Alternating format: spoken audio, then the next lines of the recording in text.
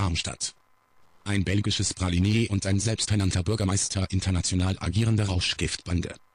Zerschlagen 31 Festnahmen. 40 Durchsuchungen und kiloweise Rauschgift 31 festgenommene Personen. 40 durchsuchte Wohnungen und die kiloweise Sicherstellung von Rauschgift sind nur ein kleiner Teil dessen, was Polizei und Staatsanwaltschaft im Rahmen eines Ermittlungsverfahrens gegen eine international agierende Rauschgiftbande vorzuweisen haben. Die vier Hauptverdächtigen sitzen in Untersuchungshaft. Darunter ein 29-Jähriger, der sich selbst als Bürgermeister von Eberstadt titulierte.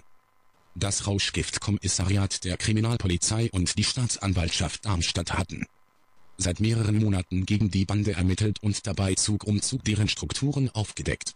Star nach den Erkenntnissen der Ermittler. Rauschgiftlieferungen von Belgien aus erfolgt und weitere zu erwarten waren. Wurde eigens eine Arbeitsgruppe mit dem bezeichnenden Namen Belgische Praline eingerichtet. Am 6. November 2014 war es dann soweit.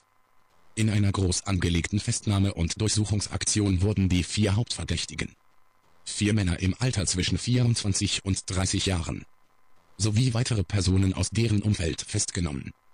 So konnte eine Taxifahrt in Darmstadt von den Einsatzkräften gestoppt und bei den Festnahmen des Fahrers und eines weiteren Insassen über ein Kilogramm Marihuana sichergestellt werden. Parallel dazu wurden in einer von dem Tatverdächtigen eigens für die Rauschgiftgeschäfte angemieteten Wohnung rund 7 Kilogramm Marihuana, 100 Gramm Kokain und Streckmittel sichergestellt. Ein 24 Jahre alter Hauptverdächtiger leistete dabei erfolglos massiven Widerstand. Insgesamt wurden bei den Einsatzmaßnahmen am 6. November 2014 19 Wohnungen und andere Räume durchsucht.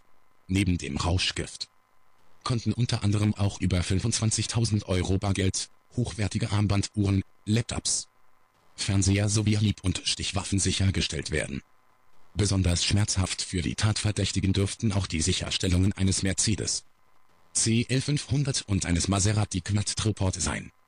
Dem jetzt ehemaligen 30-jährigen Besitzer des Mercedes, dem mutmaßlichen Kopf der Bande, werden nach derzeitigem Stand der Ermittlungen Marihuana und Kokainhandel mit einem geschätzten Verkaufswert von über 7 Millionen Euro vorgeworfen, der sich über Darmstadt Eberstadt und bis an die Bergstraße erstreckte. Der 29-jährige selbsternannte Bürgermeister soll seinen Lebensunterhalt neben dem Rauschgifthandel auch mit Zuhälterei finanziert haben. Am Mittwoch, 12. November 2014, erfolgten weitere 21 Durchsuchungen und 13 Festnahmen im Raum Darmstadt. Schwerpunkt war dabei erneut der Stadtteil Eberstadt. Ein 30-jähriger Mann leistete bei seiner Festnahme Widerstand. Ein 21-jähriger Mann versuchte ebenso erfolglos, seiner Festnahme durch einen Sprung aus dem zweiten Obergeschoss zu entkommen. Auch diese Aktion war für Staatsanwaltschaft und Polizei sehr erfolgreich. So dass nach einer ersten Bilanz beide Aktionen unter anderem mit der Sicherstellung von 50.000 Euro, rund 10.500 Gramm Marihuana, über 2.500 Gramm Amphetamin, 100 Gramm Kokain, zahlreicher Waffen und den bereits erwähnten und mit dem Ziel der Einziehung beschlagnahmten Wertgegenstände ein vorläufiges Ende fanden